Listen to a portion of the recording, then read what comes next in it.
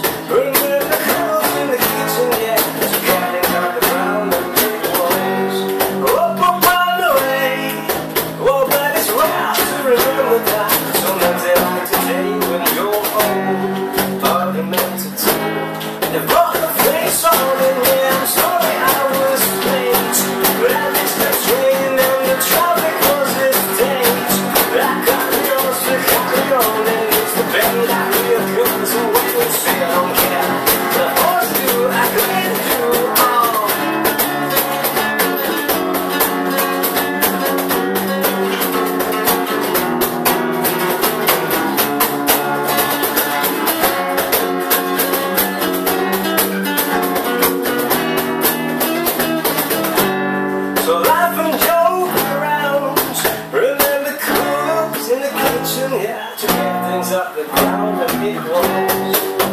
big